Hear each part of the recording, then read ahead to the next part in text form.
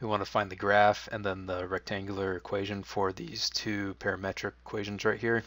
Thing you got to be careful about is if you notice the t squared here, so any number um, less or any number that is uh, any number less than zero is just going to take it right back up. So this equation as opposed to a normal parametric or normal equation, so negative 4. So if you had 0, so it'd be, it's no matter what you do, it's always going to start out right here at uh, 4, negative 4. And then it's going to be linear. So you plug in 1 or negative 1, you're going to get um, negative 3 or 3 and, and negative or 5 and negative 3 and then just it's a linear like this.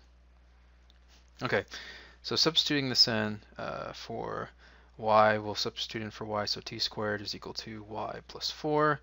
t is equal to the square root of y plus 4. Substituting that into our equation here, we're going to get x is equal to